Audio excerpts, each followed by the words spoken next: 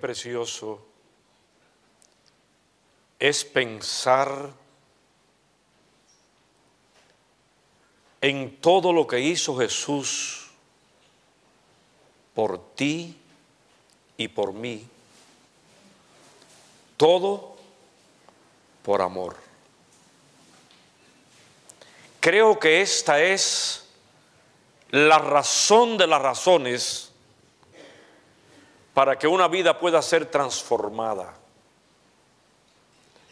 Entender el amor de Jesús. Y esto es poco a poco, porque es tan inmenso que ningún ser humano podría albergarlo en su mente en su totalidad. Pero a medida que apreciamos lo que Jesús hizo por nosotros, nuestra vida cambia y se transforma. Y es así como se reproduce en la criatura de Dios la imagen que ha sido desfigurada por el pecado y por el mal. Esta noche yo les invito a recorrer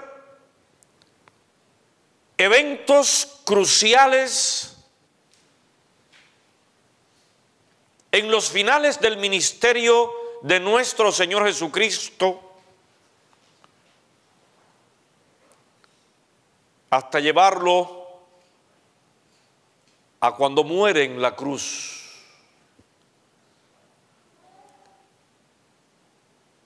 El consumado es que resonó en el vasto universo va a ser para nosotros esta noche un punto crucial en nuestra experiencia. El consumado es de Jesús expresaba que la obra que vino a realizar estaba culminada. La tarea de vencer al pecado en su propia vida, llegando a la muerte sin pecar, obteniendo de esa manera la victoria para ti y para mí, es algo extraordinario. Pero saben, ya él había dicho consumado es en el principio de la creación. Las palabras hecho está son en el original las mismas palabras de consumado es. También se pronunciará al final de las siete postreras plagas. Y también serán pronunciados cuando el evento cumbre de todos los eventos acontezca y Él regrese nuevamente a esta tierra en gloria y majestad. Pero hoy quiero que nos unamos a Jesús rememorando la entrada triunfal en Jerusalén. Les invito a abrir la escritura en el capítulo 12 del Evangelio de Juan, versículos 12 en lo adelante. Abran sus Biblias y vamos a buscar. Juan 12, 12.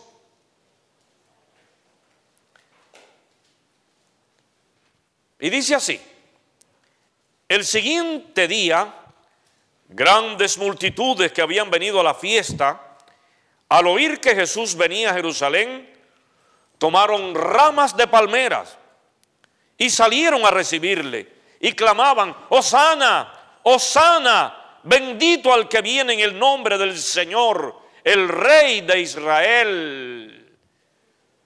Los judíos añoraban tener un rey y que fuera un rey poderoso.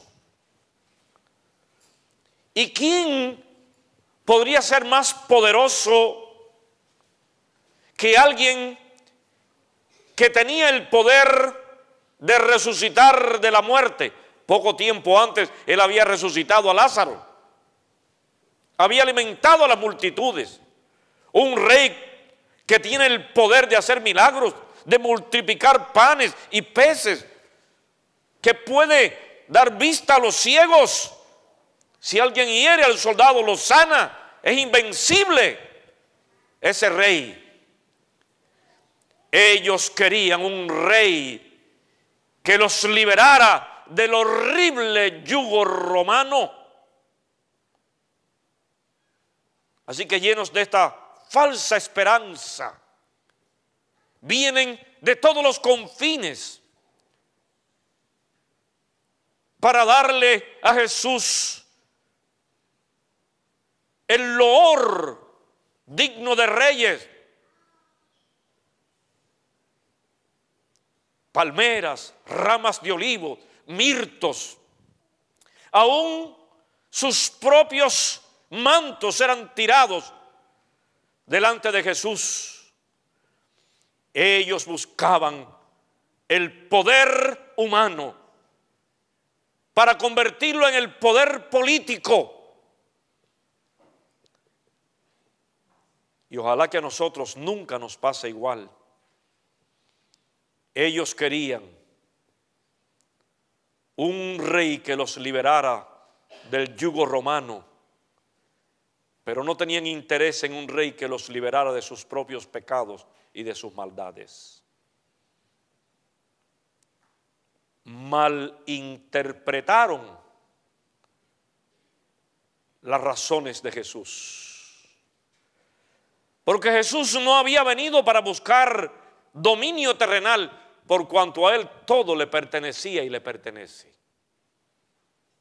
No tenía necesidad de una guerra para apoderarse del poder político ni del control de la nación, porque él era rey de reyes y señor de señores.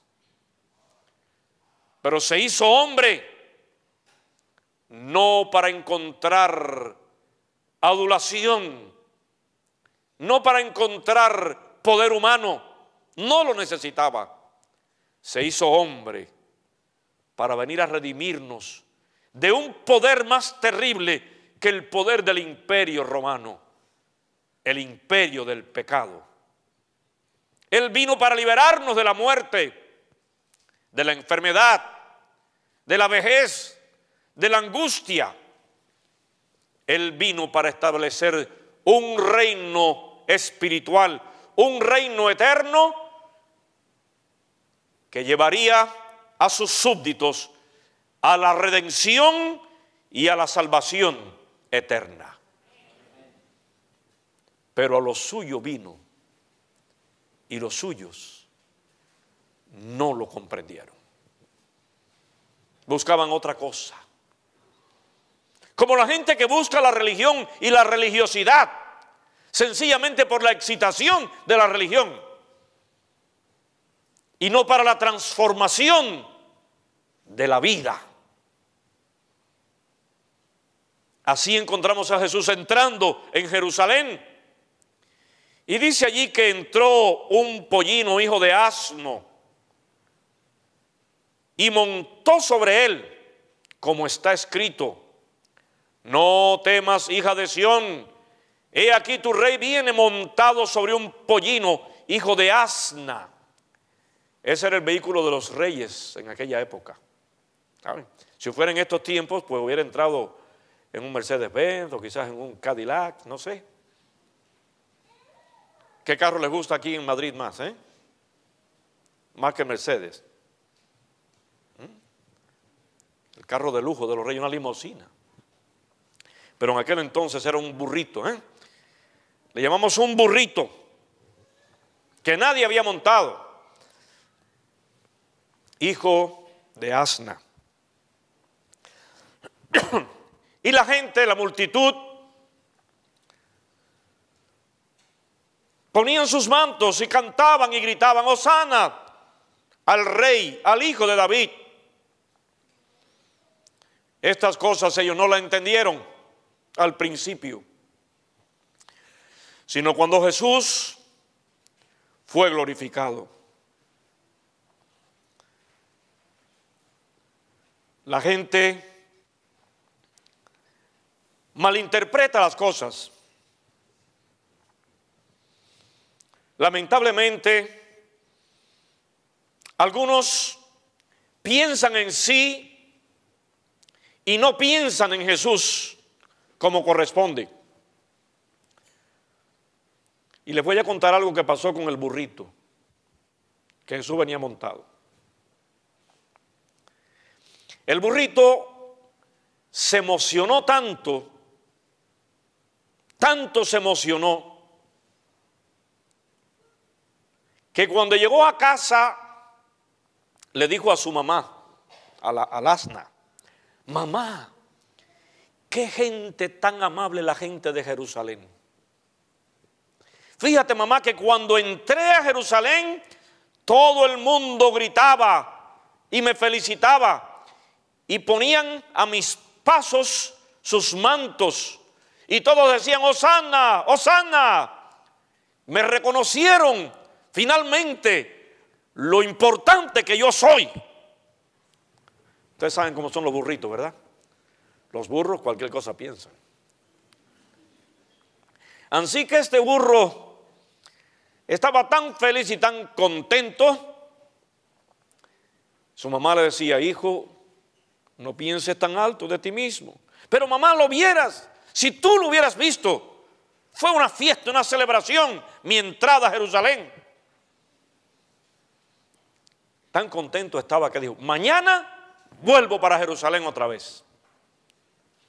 La mamá no quería, pero el burrito, testarudo, como buen burro al fin, se fue a Jerusalén y entró otra vez a Jerusalén.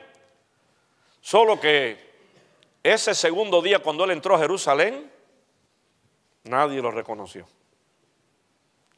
Nadie gritó sana, ni batió hojas de palma, ni de olivo.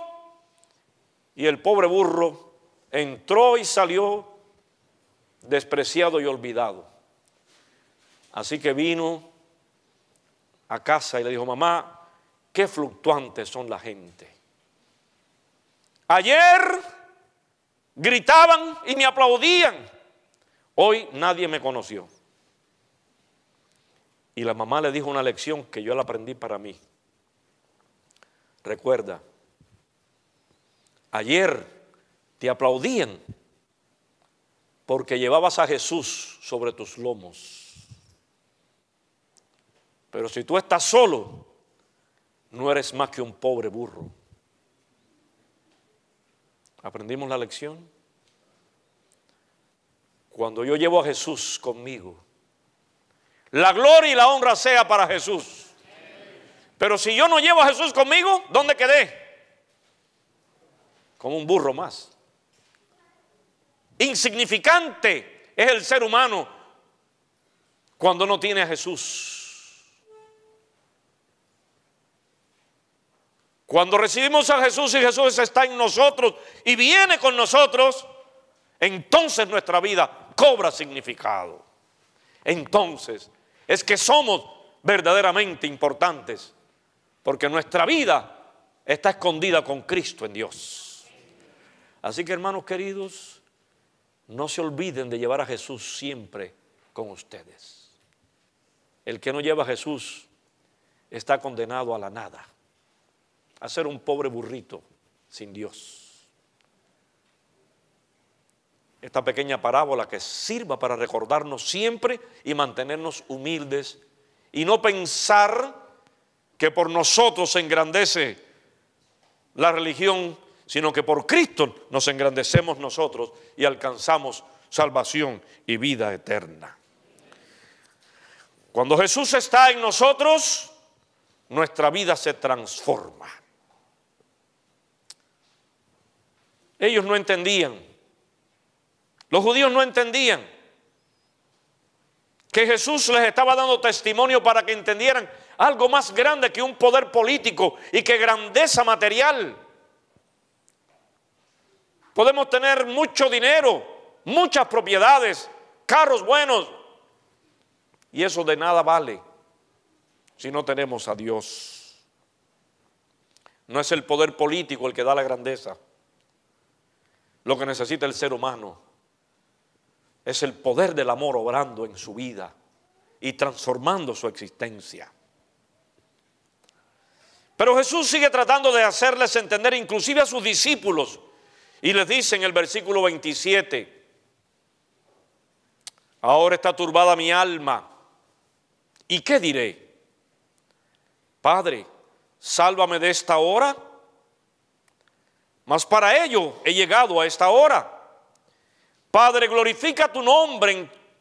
Y entonces vino una voz del cielo lo he glorificado y lo glorificaré otra vez. Y la multitud que estaba allí y había oído la voz decía que había sido un trueno. No entendían. Otros decían, un ángel ha hablado. Y respondió Jesús y dijo, no ha venido la voz por causa mía, sino por causa de vosotros. Ahora es el juicio de este mundo. Ahora el príncipe de este mundo será echado fuera. Y yo, si fuere levantado de la tierra, a todos atraeré a mí mismo. Y decía esto dando a entender de qué muerte iba a morir. Jesús estaba tratando de hacerles entender su misión. Estaba tratando de hacerles comprender de qué se trataba. Y ellos no querían entender. No hay peor sordo que el que no quiere oír. No querían. Estaban turbados, estaban nublados. Dominio, grandeza, libertad del yugo romano. No salvación, no arrepentimiento, no transformación de la vida. Y ahí está el problema, el problema grave de los seres humanos.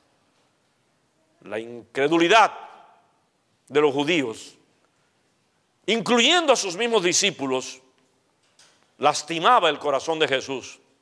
Entonces, él habló estas cosas y se ocultó de ellos por un tiempo. Pero a pesar de que había hecho tantas señales, ellos realmente no creían en él. Y dice el versículo 43, porque amaban más la gloria de los hombres que la gloria de Dios.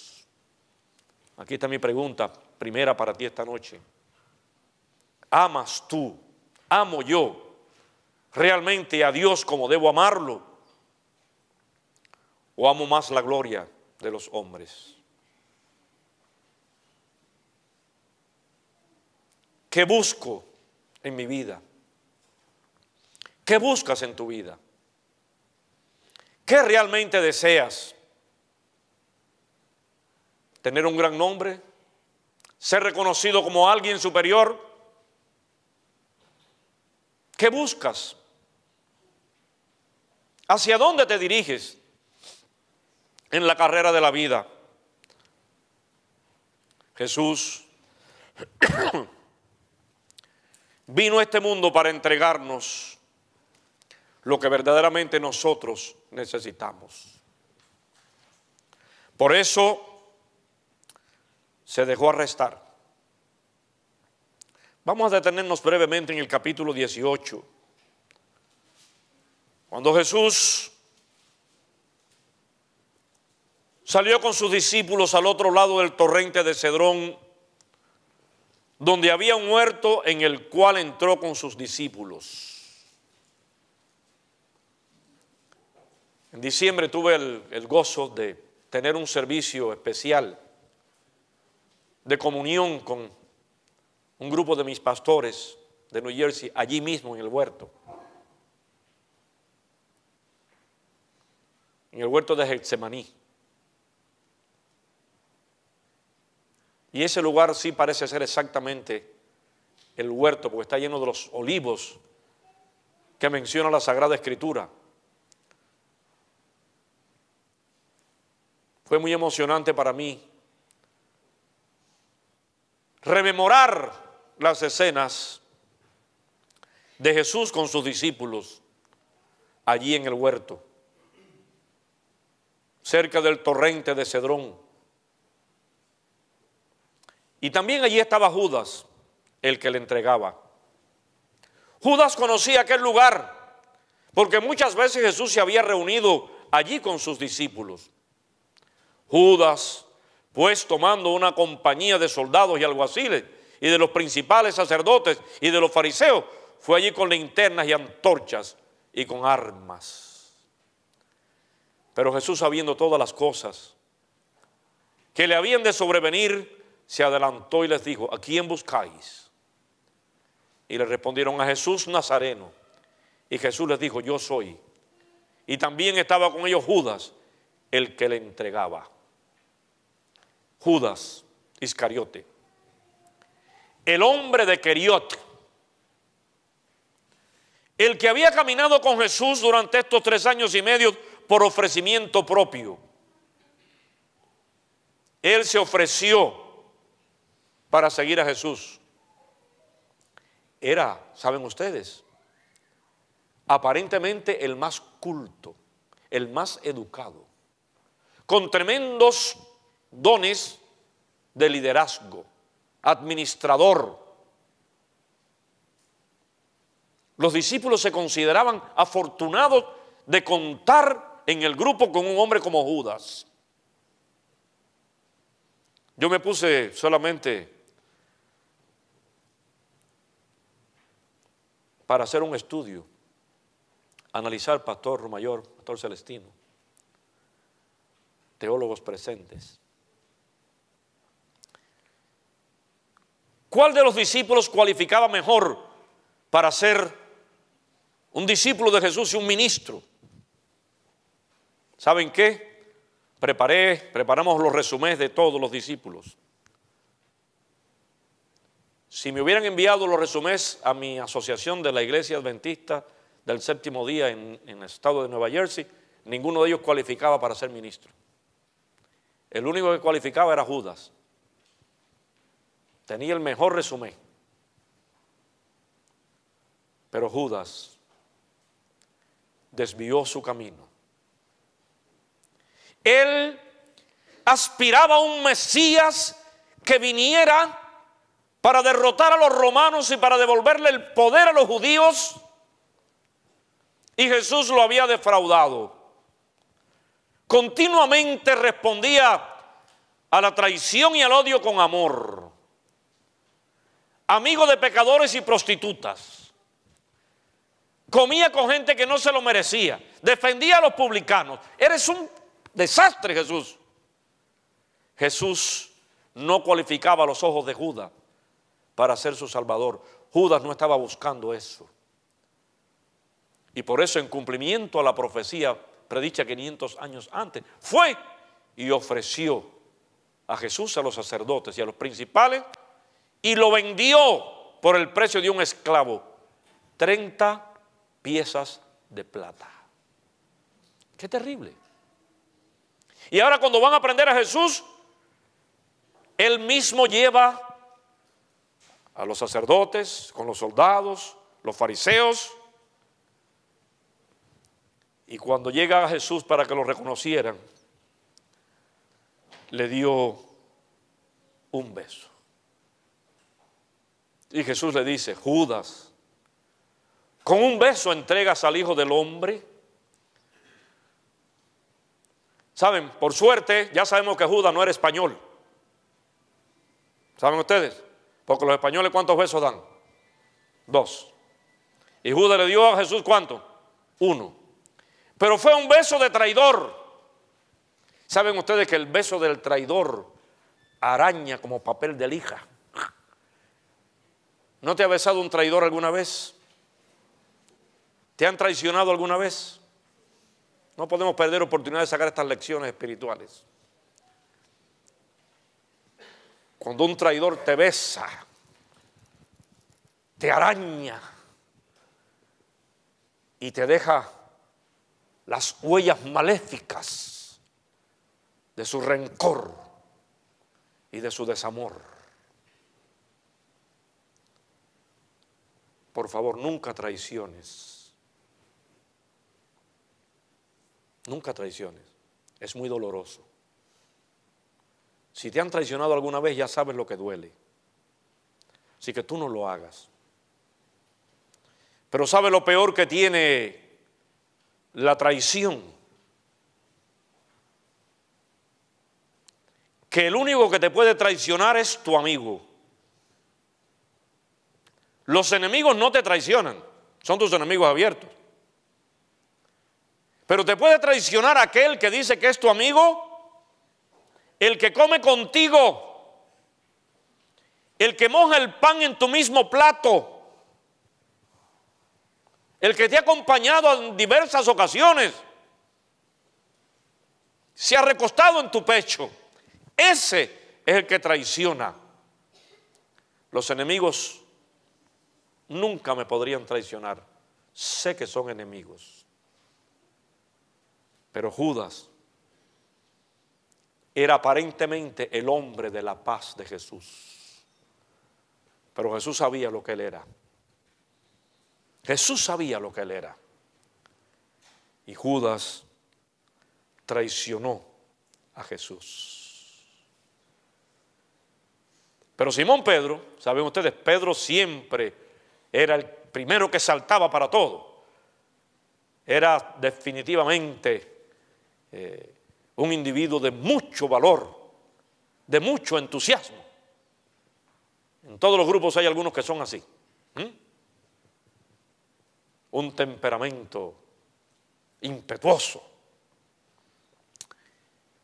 Y Pedro sacó la espada, cuchillo, y le tiró a Malco, el siervo del sumo sacerdote, y le cortó la oreja. Yo les aseguro que no le tiró a cortarle la oreja. Él le tiró a cortarle el pescuezo, el cuello. Pero parece que el tipo fue ágil y se movió y le llevó la oreja. Pedro era de armas tomar. Pero Jesús le dijo, Pedro, mete tu espada en la vaina.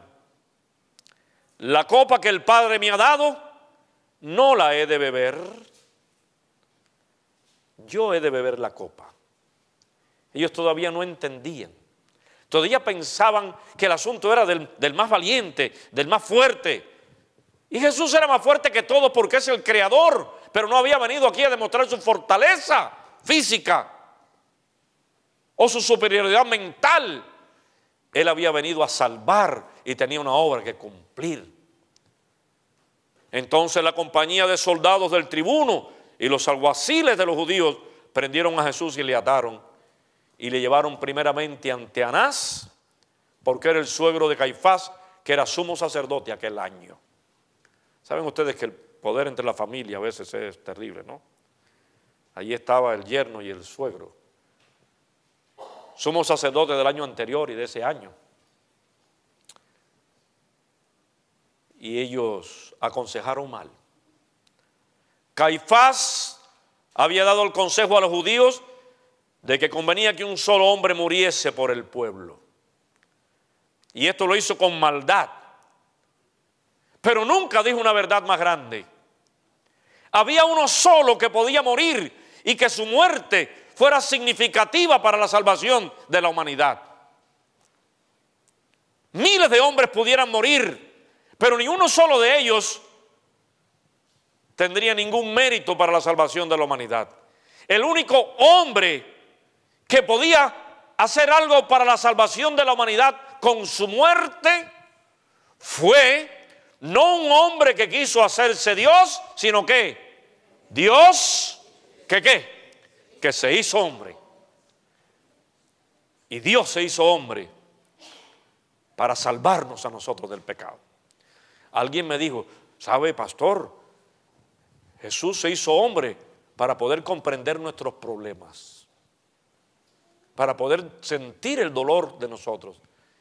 Y yo le dije, no te equivoques, teólogo. No es así. Jesús, hombre 100%, nunca dejó de ser Dios 100%. ¿Estamos claros en eso? Dios y hombre verdadero. No necesitaba pasar por cada una de las circunstancias que pasamos los humanos para entendernos. Como Dios podía entenderlo todo y como hombre lo sufrió todo. Jesús no necesitaba pasar hambre para saber lo que el hambre significa. Jesús no necesitaba ser una madre soltera para entender a las madres solteras. Y Él las entiende. Y las ama.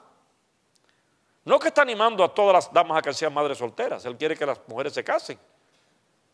Para que tengan hijos con su padre. Pero si alguna le ha tocado, Él no la va a despreciar jamás. ¿Alguien dice amén? Porque Él ama a las madres solteras. Él ama a todos. Él no tenía que venir para, para poder comprendernos, porque Dios es omnisciente. Todo lo sabe, todo lo comprende, todo lo entiende. Y en principio pasó por todas las penas que tú pudieras haber pasado y que estés pasando y por las que vayas a pasar en el resto de tu vida hasta la segunda venida de Cristo o hasta el día de la muerte. Él sabe los dolores de la enfermedad. Él sabe.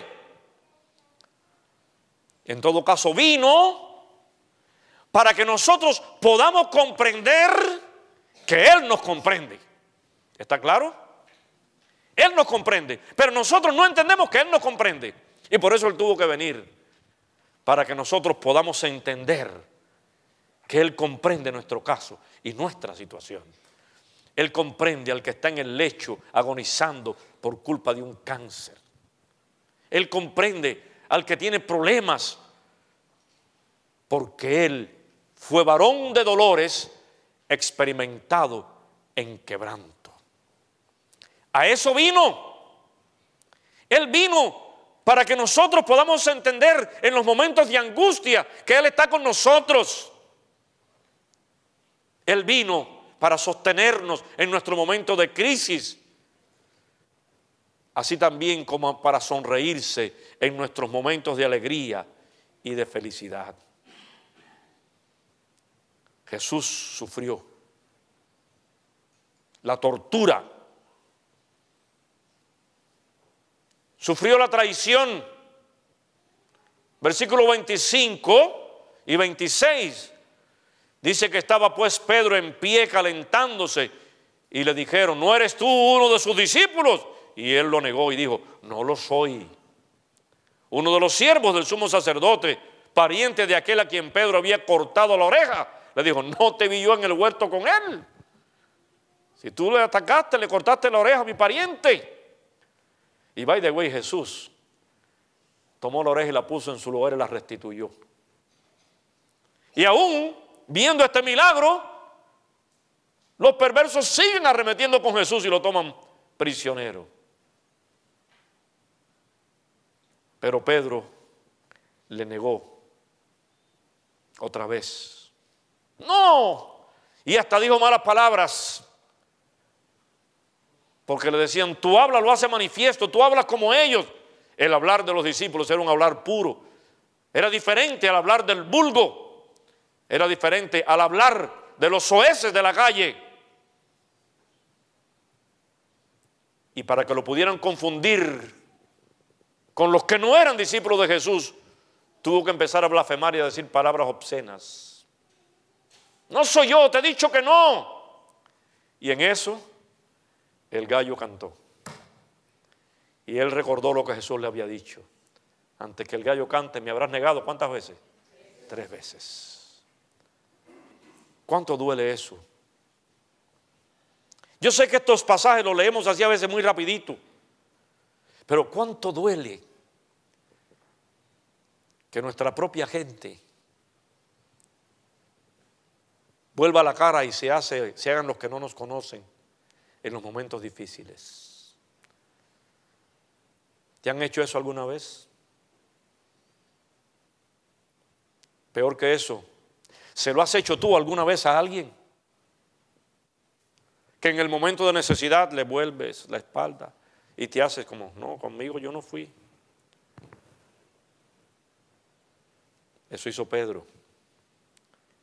Y a Jesús le dolió sumamente y lo miró desde allá.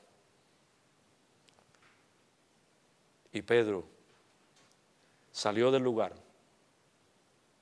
¿Y saben lo que hizo? Lloró amargamente. Aquí hay una diferencia muy grande y por supuesto eso es solamente un sermón que no tengo tiempo de predicarlo, pero lleven este punto que yo sé que ya ustedes lo han podido pensar. La diferencia entre Judas y Pedro. Hay una diferencia. La diferencia entre Judas y Pedro fue el arrepentimiento. Que Judas se llenó de remordimiento cuando se dio cuenta de lo que hizo y fue y qué? Y se ahorcó. Lección, apunten esa. Los Judas en tu trabajo, en la iglesia, en cualquier lugar, no trates de matarlos. Ellos solo van y se ahorcan. Los Judas se ahorcan solos. No los persigas, no te preocupes por los Judas. Ellos solo se ahorcan. Eso hacen los Judas. Son traidores. Pero Pedro fue débil. Tú puedes ser débil igual que Pedro. Yo puedo ser débil igual que Pedro. De hecho lo somos. Pero Pedro, cuando se dio cuenta cómo había negado a su Señor, se arrepintió y salió y lloró amargamente. Por eso después Jesús lo restituyó. Pero tengo que detenerme aquí. Porque el arrepentimiento es una de las cosas más preciosas que existe. El arrepentimiento lo creó Dios para salvar y para sanar. Como pastor he visto qué bendición es el arrepentimiento para los que se arrepienten. Como psicólogo he visto cómo la persona que se arrepiente no necesita tanto medicamento ni tanta psicoterapia. Porque la gente tiene que aprender lo que es el arrepentimiento. El arrepentimiento conlleva dolor por haber pecado. El remordimiento es solamente un sentimiento de culpa multiplicado a la quinta potencia, pero que no te sana el alma sino que se encona y se envenena. El arrepentimiento lleva al cambio, lleva a la transformación. Cuando uno entiende que ha hecho mal y siente dolor de haber pecado, entonces es el momento de confesar a Dios, Señor, he pecado, he hecho lo malo. ¿A quién debemos confesarnos? Primeramente a Dios pero también a la persona que hemos ofendido. No está bien, no está bien que digamos estoy arrepentido, pero mi ofensa fue contra un ser humano. Y ese ser humano entonces no recibe restitución ni una palabra de disculpa. Si hemos ofendido a alguien, primero debemos ir y pedir perdón a esa persona. Y una vez que hemos arreglado nuestro problema con esa persona, vamos a Dios. Y el alma queda sana por completo. ¿Está bien? ¿Está claro eso? El arrepentimiento conlleva restitución. Pedro se arrepintió. Le preguntaron a un soldado convertido ¿Qué cosa es el arrepentimiento? Y el soldado recién convertido dice, es muy fácil, mi capitán. Yo andaba por el mundo caminando detrás del pecado. Uno, dos, tres, cuatro. Me encontré con Jesucristo y Jesucristo me dijo, a retaguardia, march. Y di la vuelta y dejé de caminar en pos del pecado y empecé a caminar siguiendo la cruz de Jesucristo. Si fuiste soldado, recuerda eso. Hay que dar una retaguardia y caminar en el otro sentido. Y no seguir caminando en pos del pecado, porque eso no te va a llevar a ningún sitio. El pecado lleva a la muerte, a la tristeza y al dolor. Cuando uno se arrepiente, el alma se sana. Hay algunos en esta noche aquí, y no, no tienen que confesarse conmigo, Yo soy pastor adventista y los pastores adventistas somos bíblicos y no creemos en la confesión auricular. Aquí en la iglesia no tenemos confesionario, porque la Biblia no enseña el confesionario. ¿Ok? Todo respeto y cariño para los que lo practican, pero la Biblia no enseña eso. La Biblia enseña que el arrepentimiento nos lleva a confesar a Dios y a la persona que hemos ofendido. No tenemos que venir al pastor Rumayor, ni al pastor Cortés, no, ninguno de los pastores, y decirle, dame la, la absolución. No está en nosotros decir, ego te absolvo. Eso no es nuestra tarea. El único que hace eso es Dios. Dios es el que perdona. Pero es importante que aprendamos a ir a la presencia de Dios. Que aprendamos a pedirle, Señor, perdóname. Pero por favor, no cometan la sencillez de decir, si he pecado, perdóname. Porque hay algunos que piden perdón así. Si he pecado, perdóname. Si te ofendí, perdóname. Claro que ofendimos. Y debemos confesar exactamente el por qué. Si dijiste una mentira, Señor, he dicho una mentira, perdóname. Y mira, mi hermano, te dije una mentira. Esto no es verdad. Rectifica. Y di la verdad. Di la verdad siempre. Pero si cometes el error, arrepiéntete y confiésala con la persona. Y Dios te da el perdón y me da el perdón. Amén. Esa fue la diferencia. Judas no se arrepintió.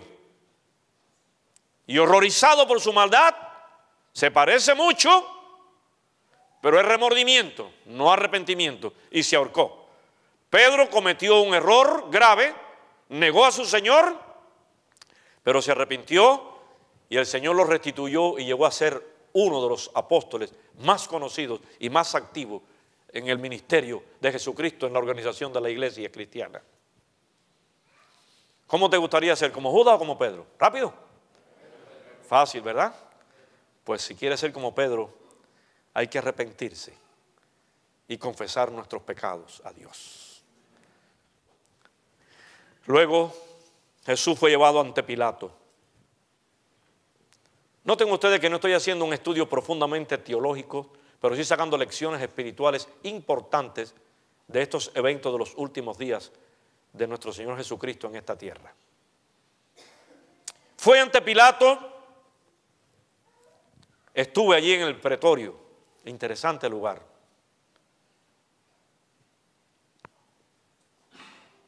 Es una casa, claro, ha sido remodelada, reconstruida, pero la esencia permanece. Y allí estaba la sala en un piso más alto, a un nivel no piso, a un nivel más alto, donde realizaban los juicios, y después tiraban a los reos. Allí mismo había un hoyo que los lanzaba directamente a las celdas de castigo, y ahí caían. Pero parece ser que a Jesús no lo lanzaron allí, sino que lo torturaron afuera, una vez que fue condenado. Era de mañana y ellos entraron en el pretorio para no contaminarse. No entraron en el pretorio para no contaminarse y así poder comer la Pascua. qué, farsa. Si entraban al pretorio donde había contaminación, se contaminaban y entonces no podían comer la Pascua.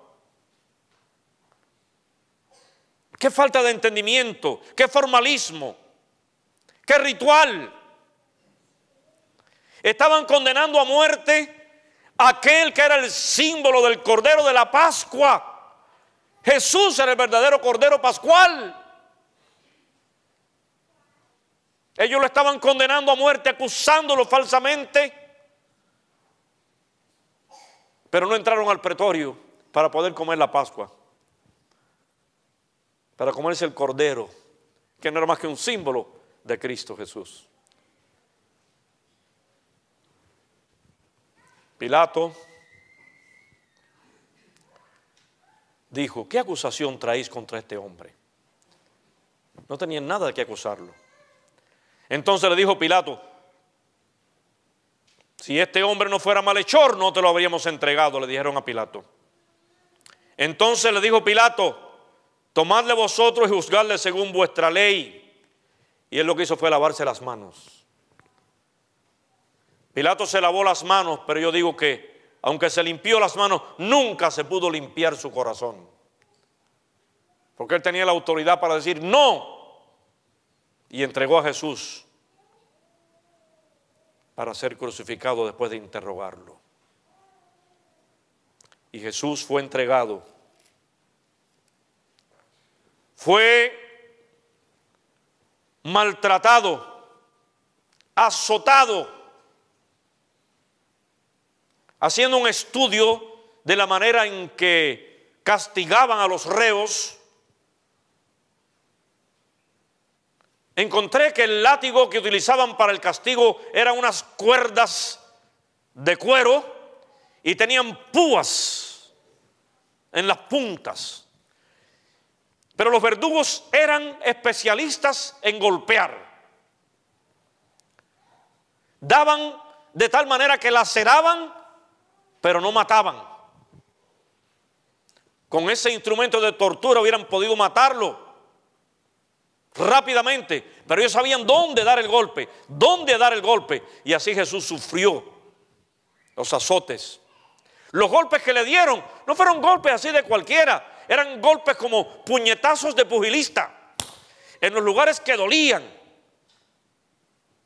en los lugares que marcaban los puntos, pero no lo mataban. Él tenía que sufrir hasta el final. ¿Se imaginan ustedes eso? Doloroso.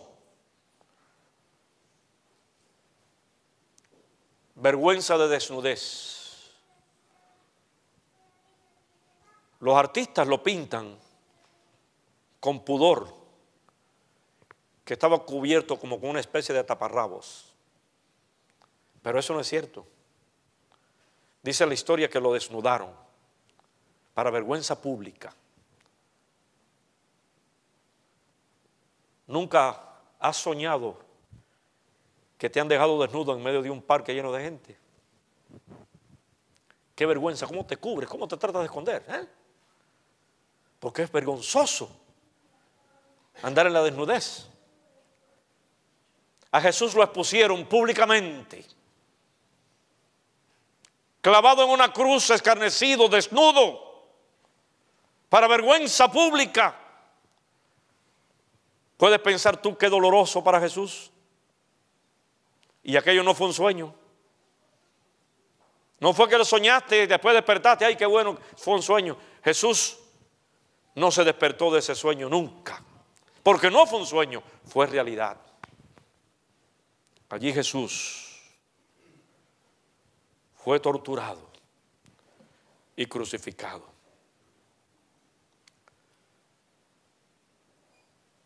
Jesús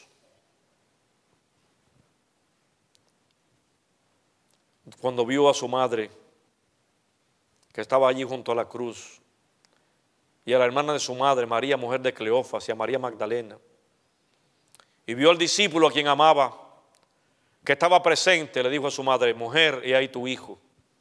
Y después le dijo al discípulo, he ahí tu madre. Y desde aquella hora el discípulo la recibió en su casa. Otro punto importante. Jesús no se olvidó nunca del amor a su madre amó a su madre y la cuidó, aún en los momentos más difíciles. No estaba pensando en él mismo, estaba pensando en su madre.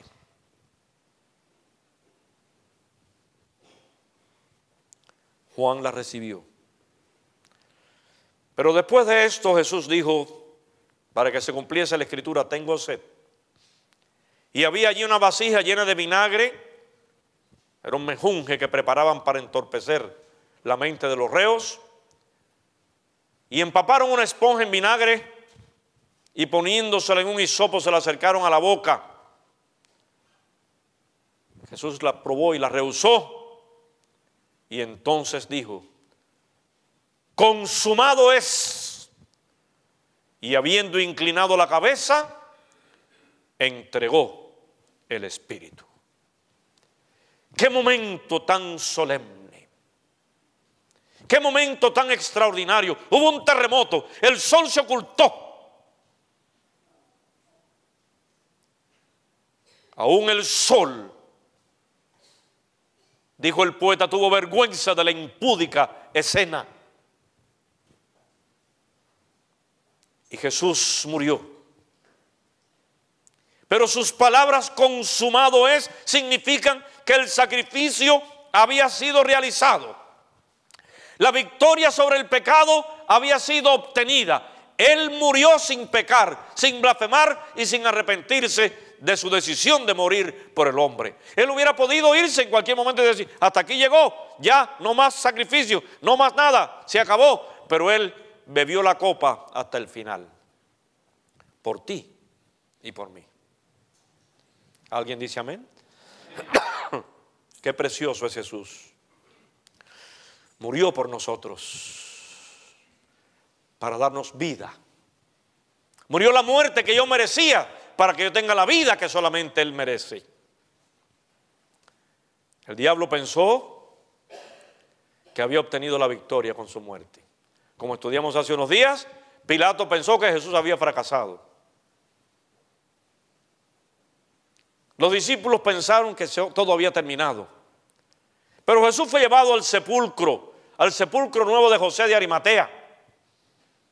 Allí fue puesto. Yo visité varios lugares que parecen ser el sepulcro. Hay uno que me parece que es, porque fue un sepulcro que estaba una de las, de las, de las cámaras, estaba lista y parece que fue la que se usó, pero otro todavía estaba sin terminar. Y dice la Biblia que el sepulcro de José de Arimatea era un sepulcro nuevo. Allí pusieron a Jesús. Interesante. Viernes por la tarde fue al sepulcro. Pasó allí todo el día del sábado en reposo. Los discípulos estaban descorazonados, escondidos, tristes. Pilato pensaba que ya había resuelto el problema pero no sabía que el problema era más grande que él. Anás y Caifás ya salieron del impostor.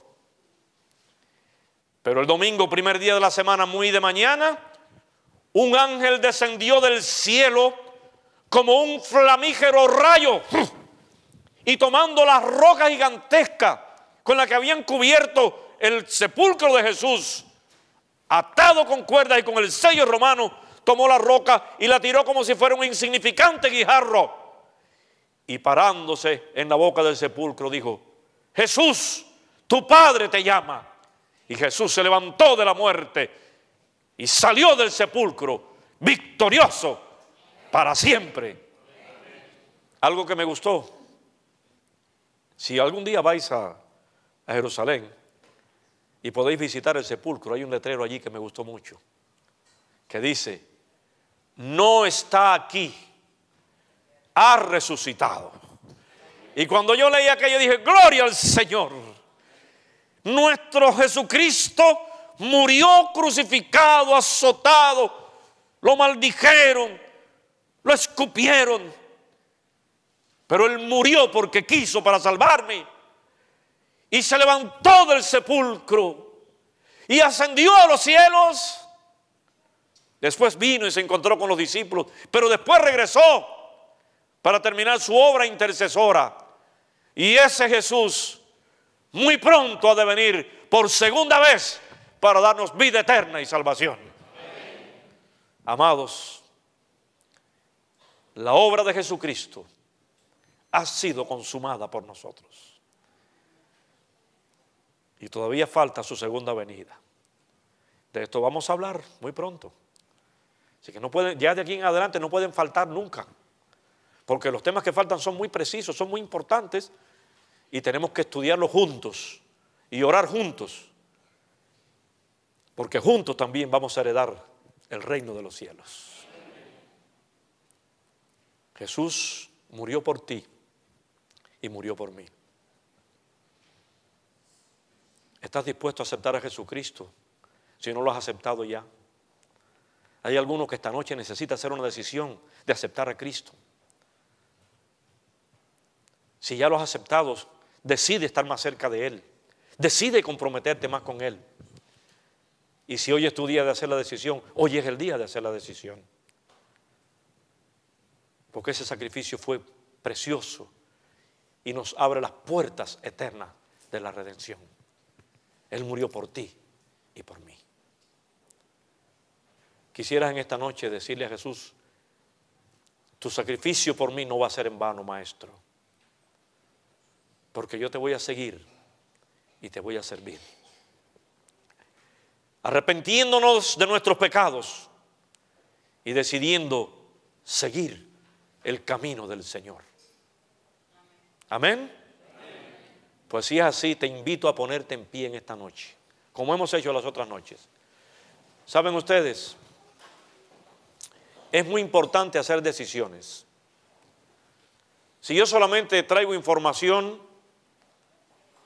usted puede salir de aquí con mucha información. Pero si no hace una decisión, esa información puede valer de poco. Pero cuando sabemos las cosas, entonces debemos hacer decisiones de acuerdo a ese conocimiento.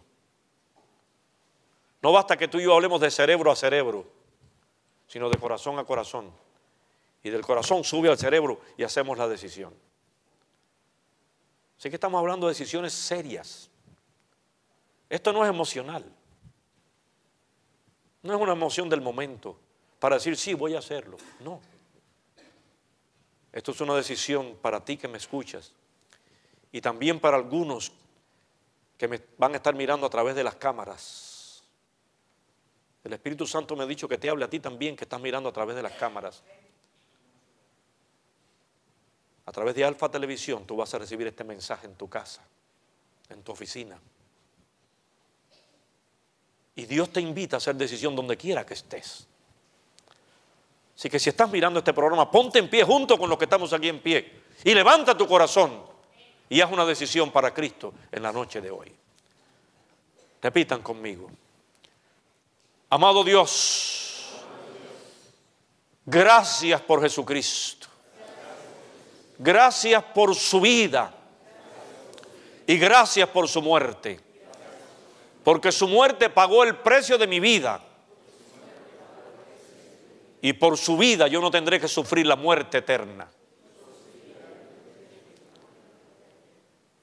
Hoy te entrego mi corazón. Me consagro o me reconsagro a ti para vivir contigo. Acéptame, maestro, porque acepto tu invitación y tus méritos en la cruz del Calvario. Amén. Ya ustedes saben lo que viene ahora. Se vuelven a la persona que está a su derecha y a su izquierda. Le va a dar un abrazo y le va a decir, hoy es un día importante. Acepto el sacrificio de Cristo en la cruz del Calvario. Así que hoy es un día importante. Acepto el sacrificio. Un abrazo.